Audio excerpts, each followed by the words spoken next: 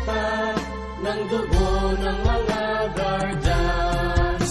Piliin ang bayan, aming ipaglalaban hanggang kamatayan, hanggang sa libingan.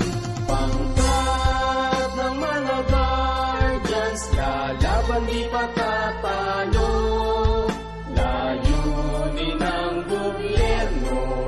paglalaban ng Guardians hanggang kamatayan, hanggang salibingan, hanggang sa huling tapat ng dugo.